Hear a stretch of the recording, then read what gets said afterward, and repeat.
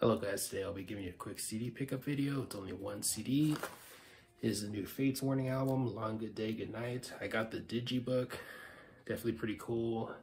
Limited Europe edition. But yeah, I did a review of the album, so if you haven't seen my review, definitely check it out.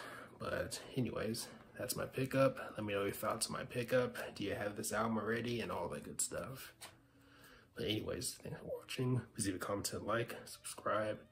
Have a nice day and take care.